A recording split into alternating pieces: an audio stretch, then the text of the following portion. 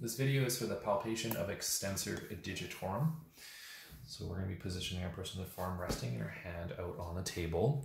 Extensor digitorum is one of the muscles originating off the common extensor tendon and therefore off the lateral epicondyle of the humerus, right in here. I'm going to get you to rapidly tap your fingers for me.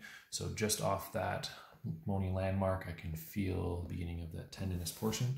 And I'm going to take my fingers and do a pincher grasp outlining both sides of extensor digitorum. It's quite wide in the forearm. Good. And as we work our way down, keep rapidly tapping those fingers for me. And I'm going to continue to follow the muscle group down until it makes its way to the forearm. Okay. So in and around the middle of the forearm here, I'm going to have you just rest your fingers out. I'm going to take my fingers and place them over top of kind of the insertion. So I'm to have you push up into my hand and hold. And I'm to continue following the tendinous group down past the wrist.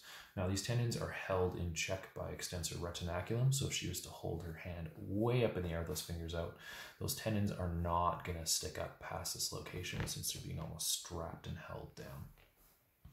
Once it makes it into the fing into the hand and the fingers, I'm going to get a push up just with your index to start and hold that.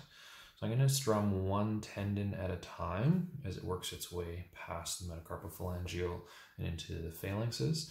And it's going to be inserting on both the middle and the distal phalanx of this finger via what's called the dorsal digital expansion. We're going to continue this palpation for each of the other fingers. So I'm going to have you lifting and holding this up. So I'll follow the tendon into the third finger, all the way again to that middle and distal phalanx. We'll repeat it on the ring finger as we follow that tendon all the way out to the middle and distal. And finally, for the pinky finger, or the fifth digit, all the way to the middle and distal. So again, extensor digitorum is inserting into fingers two through five, the middle and distal phalanx of all those fingers via the dorsal digital expansion. And as per all of our muscles on the extensor group, they are all innervated by the radial nerve.